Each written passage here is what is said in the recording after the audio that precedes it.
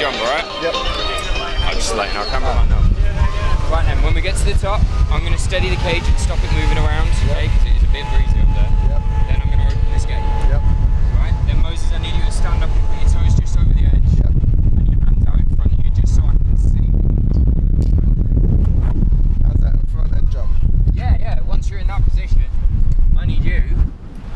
You're going to hear me say three, two, one, bungee. And as Yep. soon as you hear me say bungee, I need you to go, okay?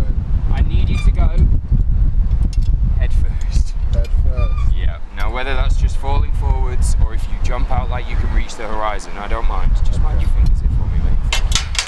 Okay. As long as you're going head first and you're not holding on to anything. Okay. Okay. All right. I'm just going to open my gate. Yep.